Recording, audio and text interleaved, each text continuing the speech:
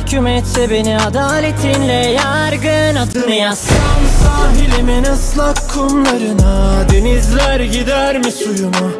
Görünmem senden başkası.